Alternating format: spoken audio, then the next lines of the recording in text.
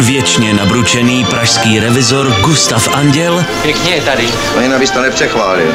Moc vybavený nejsou. se ocitne na dovolené, Nezapomeňte, že jste na rekreaci, to znamená opalovat se, koupat. která se mu až tak nezamlouvá. Hraje šachy? Hraju, ale nechce se mi. Jaroslav Marvan Hleďte, ten bubák už zase jde. Vypadá jak vejr. v legendární komedii Dovolená s Andělem.